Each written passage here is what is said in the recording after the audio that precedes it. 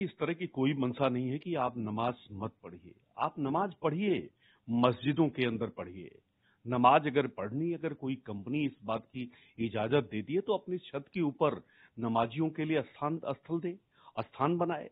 वहाँ आप नमाज़ पढ़िए, लेकिन सड़कें रोक कर आम जो पार्क है उसके अंदर आप जाएँगे, नमाज़ पढ़ेंगे। धार्मिक स्थल वो नहीं है, वो मस्जिद नहीं है, वो मकबरा नहीं है। कि आप नमाज़ पढ़ेंगे। इसलिए कानून के तहत जो कुछ जायज़ है, उसके तहत आप जाइए और नमाज़ पढ़िए।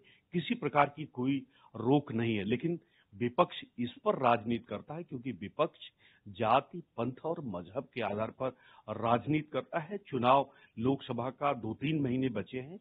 इसलिए विपक्ष कहीं न कहीं उकसाने का ये काम कर रहा है और उसी के साथ कुछ जो नमाजी हैं, वो भी इस तरह की हरकत करते नज़र आ रहे हैं। लेकिन अगर कोई कानून अपने हाथ में लेगा तो मुझे पूरा विश्वास है कि कानून अपना काम करेगा। कहना ना ये ध्यान भटकाने की बात करती है ये सोशल इश्यूज़ हैं।